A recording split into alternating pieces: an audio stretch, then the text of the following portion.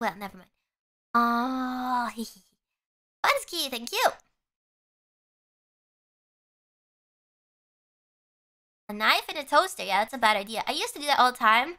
Like, I would stab the bread in the toaster and then I would pull it out, but I never got in shock doing it. But I remember when I was doing it, I got in trouble one time because Auntie Watson was like, Abby! You idiot! You don't stick a knife in a toaster. But this now I disconnect the toaster and then I stick the knife in. gotta be smart. Thank you. Actually, I don't know if that works. Don't do that. Uh, that's what I do. But don't do that. Don't do what I say. Don't do. Don't do what I do. Do what I say. uh, me, me, me, me, me. Thank you. Squirrel. Thank you. Zip on the third. Thank.